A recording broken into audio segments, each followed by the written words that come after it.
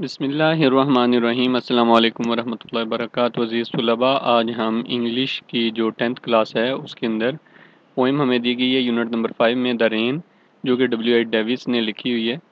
तो उसकी स्टेंजाज की पैराफ्रेजिंग करेंगे।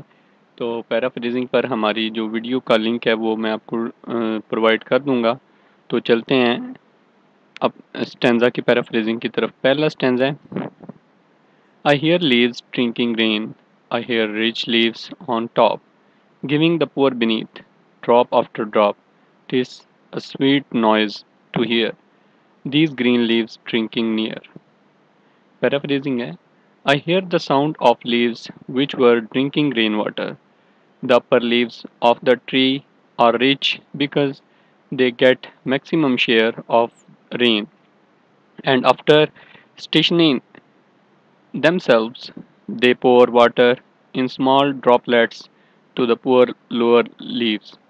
This sound of green leaves when they drink rainwater above my head sound very pleasant to the ears. Stanza number 2 And when the sun comes out after this rain shall stop, a wondrous light will fill each dark round drop. I hope the sun shines bright. It will be a lovely sight. The paraphrasing of stanza number 2 is After the rain has stopped and the sun appears in the full bloom, its wonderful light will make every dark and round shaped raindrops shine like pearls.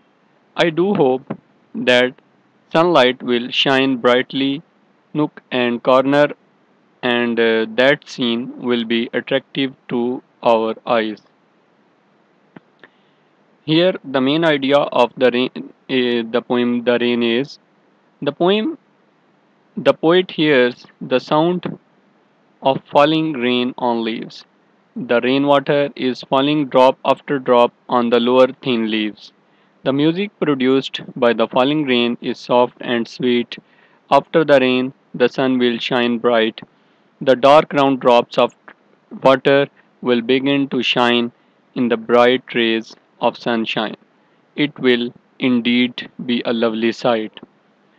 तो अज़ीज़ तलबा, उम्मीद है कि आपको stanza की paraphrasing और main idea paper में बहुत मामन और मददगार साबित होंगे तो अपना ख्याल रखिएगा, अपने इस चैनल का भी ख्याल रखिएगा और वीडियो को भी शेयर कीजिएगा लाइक भी कीजिएगा तो मिलते हैं नेक्स्ट लेसन में अल्लाह हाफिज़